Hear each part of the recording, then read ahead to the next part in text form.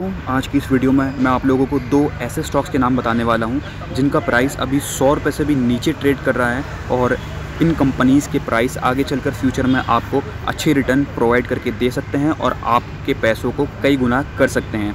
और ये जो दो स्टॉक्स के नाम मैं आप लोगों को आज बताने वाला हूँ, ये दोनों कंपनीज़ एफ़ कैटेगरी में आती हैं। जिन लोगों को नहीं पता है कि एफएमसीजी कैटेगरी क्या होती है तो उन लोगों को मैं बता देता हूँ।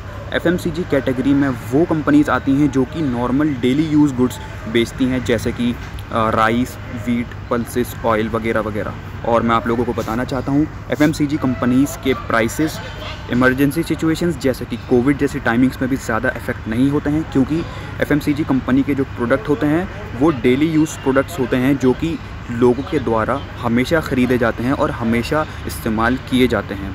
तो इन सब स्टॉक्स के प्राइसेस इतने ज़्यादा फ्लक्चुएट और इतने ज़्यादा इफ़ेक्ट नहीं होते हैं। इसलिए इन कंपनी में मुझे काफ़ी ज़्यादा पोटेंशियल नज़र आ रहा है। तो जल्द से जल्द इस वीडियो को शुरू करते हैं और उन दोनों स्टॉक्स के नाम जान लेते हैं और मैं आप लोगों को ये भी बताऊँगा कि आप लोगों को इन स्टॉक्स में क्यों इन्वेस्ट करना चाहिए। दोस्तों, जैसा कि आप यहाँ पर देख सकते हैं, जो पहली कंपनी है, उसका नाम है एल टी फूड्स लिमिटेड दोस्तों, ये कंपनी 1980 में इस्टेब्लिश की गई थी और ये कंपनी राइस और जैसे कि और ज़्यादा प्रोडक्ट्स जैसे कि आप यहाँ पर देख सकते हैं मैन्युफैक्चर भी करती है, बासमती राइस मैन्युफैक्चर भी करती है और सेल भी करती है। और ये डोमेस्टिक मार्केट मतलब कि इंडिया में ही नहीं ओवरसीज़ मार्केट में भी अपने प्रोडक्ट सेल करती है।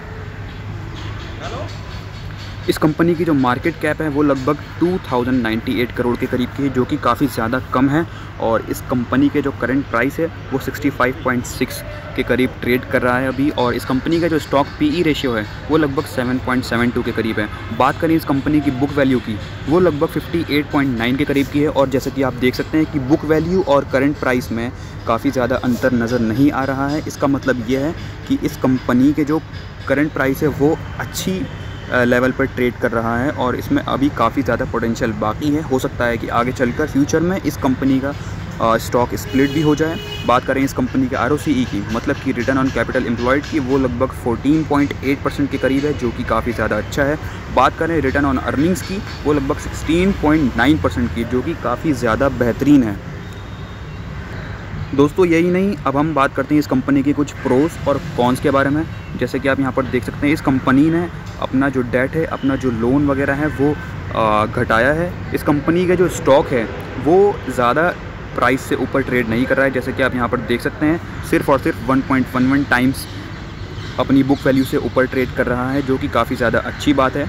और इस कंपनी ने पिछले पाँच सालों में 30.56 परसेंट की सी ए जी आर से ग्रोथ दिखाई है, जो कि काफ़ी ज़्यादा बेहतरीन है। और बात करें कुछ कॉन्स की, जैसे कि आप यहाँ पर देख सकते हैं कि पिछले पाँच सालों में इस कंपनी की जो सेल्स है, वो इतनी ज़्यादा खास नहीं रही है, सिर्फ़ और सिर्फ़ 9.47 परसेंट ही रही है। बात करें इस कंपनी के रिटर्न ऑन इक्विटी के बारे में तो लास्ट तीन सालों में इस कंपनी का जो रिटर्न ऑन इक्विटी था वो 13.77 परसेंट था। और बात करें इस कंपनी ने जो कंपनी है अपनी इंटरेस्ट जो कॉस्ट है हो सकता है कैपिटलाइज कर रही हो हो सकता है छुपा रही हो।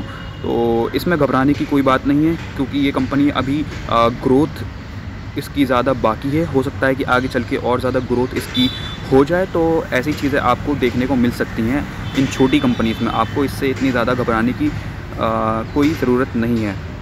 दोस्तों, बात करें इस कंपनी की इंट्रेंसिक वैल्यू की तो इस कंपनी का भी जो करंट प्राइस है, वो इंट्रेंसिक वैल्यू से नीचे ट्रेड कर रहा है, जो कि काफ़ी ज़्यादा अच्छी बात है। और बात करें इस कंपनी के रिटर्न्स की पास्ट रिटर्न्स की तो इस कंपनी ने एफडी से कहीं ज़्यादा अच्छे रिटर्न्स प्रोवाइड करे हैं।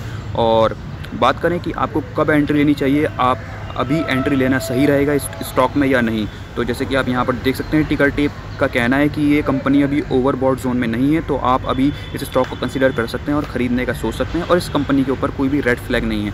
लेकिन एक बात ज़रूर है कि इस, ये कंपनी अपने शेयर होल्डर्स को ज़्यादा डिविडेंड नहीं दे रही है। तो दोस्तों जो आपको पता ही होगा कि ये जो छोटी स्मॉल कंपनीज़ होती हैं स्मॉल कैप कंपनीज़ अपने प्रॉफिट का हिस्सा डिविडेंड डिक्लेयर नहीं करती हैं, क्योंकि जितना भी इनका प्रॉफिट होता है, वो कंपनी में बिज़नेस में ही दोबारा री इन्वेस्ट करना पसंद करती हैं ताकि इन कंपनीज़ की ग्रोथ हो सके। तो आपको इससे भी घबराने की कोई ज़रूरत नहीं है।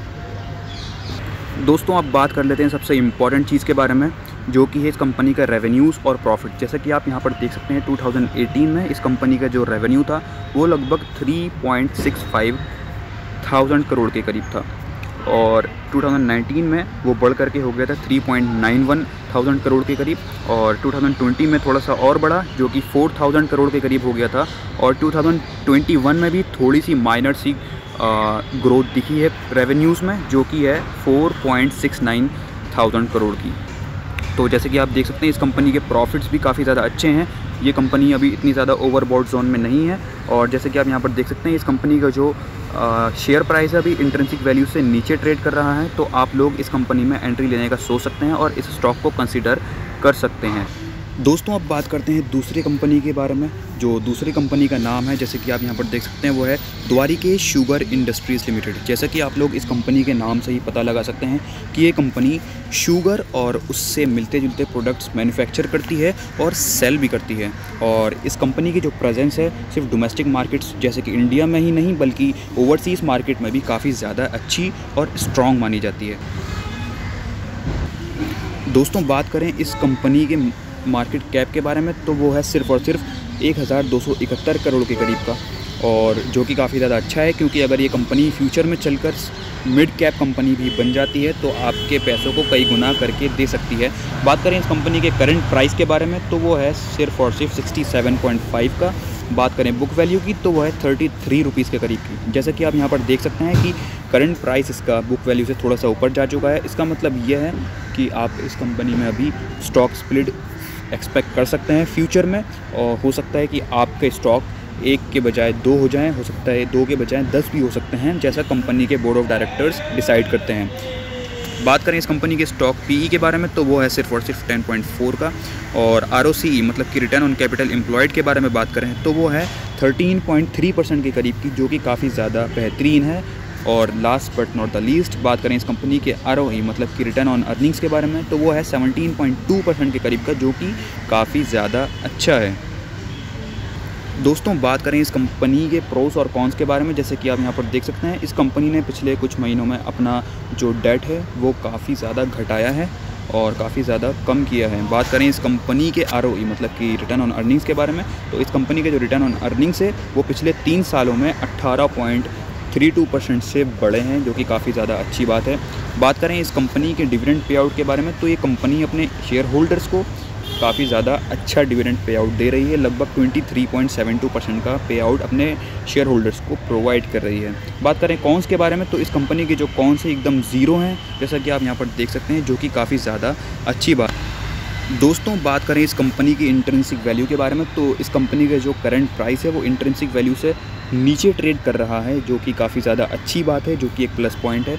और बात करें इस कंपनी के रिटर्न के बारे में तो इस कंपनी ने पिछले कुछ सालों में एफडी से काफ़ी ज़्यादा अच्छे और बढ़िया रिटर्न प्रोवाइड कर रहे हैं एफडी के कंपेरिजन में। और ये कंपनी अपने शेयर होल्डर्स को काफ़ी ज़्यादा अच्छा डिविडेंड भी पे करती है प्रोवाइड करती है, जो कि काफ़ी ज़्यादा अच्छा प्लस पॉइंट है। और बात करें इस कंपनी के एंट्री पॉइंट के बारे में तो टिकर टेप का कहना है कि ये कंपनी अभी इतनी ज़्यादा ओवरबोर्ड जोन में नहीं है तो आप इस कंपनी में एंट्री लेने का सोच सकते हैं। और इस कंपनी के ऊपर कोई रेड फ्लैग भी नहीं है। जैसे कि आप यहाँ पर देख सकते हैं, बहुत सारे प्लस पॉइंट आपको यहाँ पर देखने को मिले हैं। दोस्तों, अब बात करते हैं सबसे इंपॉर्टेंट चीज़ के बारे में जो है, जो कि है इस कंपनी के प्रॉफिट्स और रेवेन्यूज़ जैसे कि आप यहाँ पर देख सकते हैं 2018 में इस कंपनी का रेवेन्यू सिर्फ़ और सिर्फ़ 1.45 थाउज़ेंड करोड़ रुपीस के करीब का था, जो कि 2019 में थोड़ा सा गिरा था और 1.12 थाउज़ेंड करोड़ रुपीस के करीब हो गया था। और दोबारा से फिर 2020 में इस कंपनी ने अपने रेवेन्यूज़ को इनक्रीज़ किया और 1.34 थाउज़ेंड करोड़ के करीब हो गया था।